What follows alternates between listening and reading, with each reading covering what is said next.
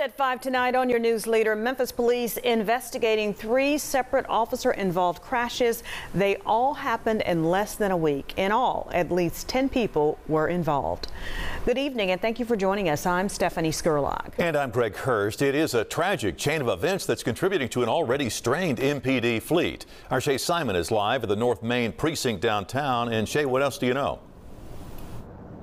Yes, Stephanie Greg, uh, we just got new information that the surviving officer from Friday's crash has been identified as Bobby Fields by Memphis City Councilman Ford Canale. Ford Canale also says that this officer is still in very serious condition.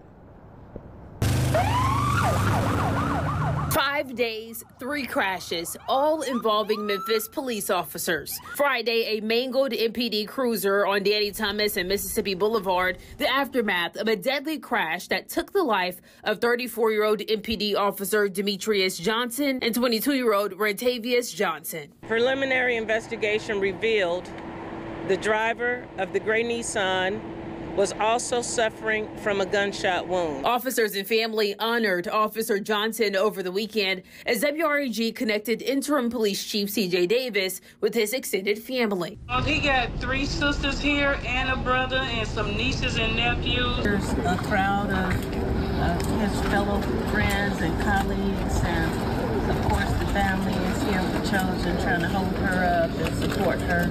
Just know that when you get here, you know, we're here for you. Less than 48 hours after Friday's crash, six people, including an officer and two kids, injured in a crash on Lamar and Tuggle in southeast Memphis. Fast forward to Tuesday morning, commuters sat in traffic on Danny Thomas and Alabama Avenue around 8 a.m. as investigators worked a crash involving an MPD officer. As all of these crashes are under investigation, MPD continues to face a car shortage. In July, Sergeant Matt Cunningham confirmed 50% of their fleet is not in rotation, with about 170 awaiting maintenance. We sometimes get in high speed situations. Sometimes we, we drive the cars hard to respond to a call um, or a pursuit.